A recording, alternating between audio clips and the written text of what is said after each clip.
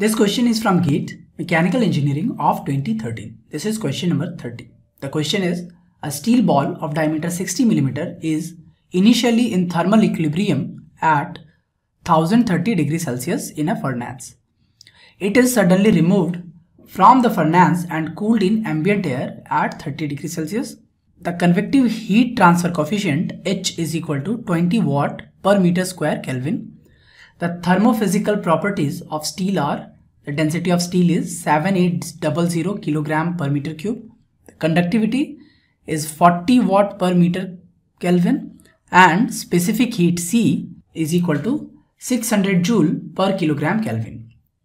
The time required in seconds to cool the steel ball in air from 1030 degrees Celsius to 430 degrees Celsius is so this problem can be solved using lumped parameter approach.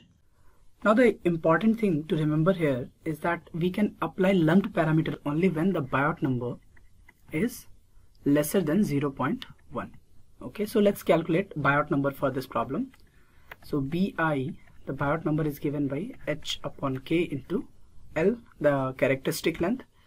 Now according to the problem, H is equal to 20 watt per meter square Kelvin K is 40 watt per meter Kelvin and L is 0.06 meter. Okay? So from here this will be 20 upon 40 into 0.06 which is equal to 0.03 and this is less than 0.1 so for this problem lumped parameter approach is applicable. Right? So according to lumped parameter approach suppose the ball a steel ball. Now it is in free stream temperature of T infinity and its initial temperature is let's say Ti and it has to gain the temperature T. Okay, these all values are given in the problem. It can be found using the formula T minus T infinity divided by T initial minus free stream temperature is equal to e to the power of negative of heat transfer coefficient H, the area of the steel ball surface area divided by the mass of this steel ball. So mass will be volume into density. So this is rho is the density of steel into the volume of steel multiplied by its specific heat capacity into time. Okay, we can use this formula to find time taken to reach its final temperature. So T is the final temperature that we need to gain. Okay, and we need to find the value of small t that is the time taken. So if we take log both side, we can write ln t minus t infinity divided by ti minus t infinity is equal to negative ha by rho v c into t and we need to find this t. Okay? Now let's substitute all the values. So this is ln.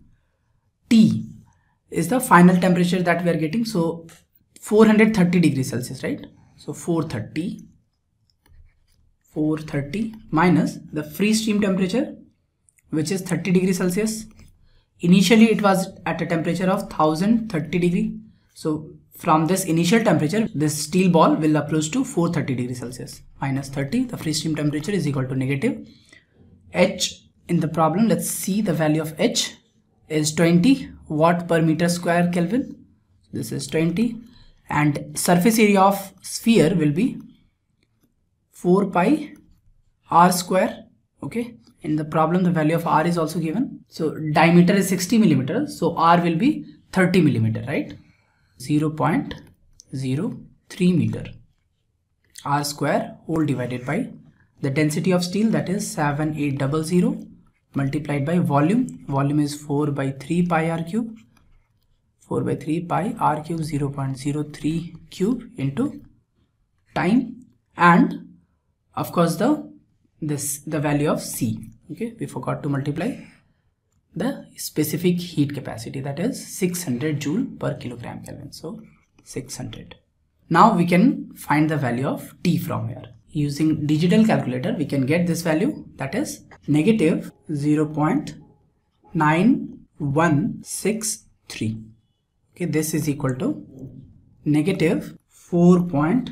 274 into 10 to the power of minus 4 into t okay so from here we can find the value of t So T will be equal to 2145.9 second or approximately we can say 2146 second. Now let's match with the given options. So we can see here the closest option is 2144. Okay, only two less. So option D will be the correct choice.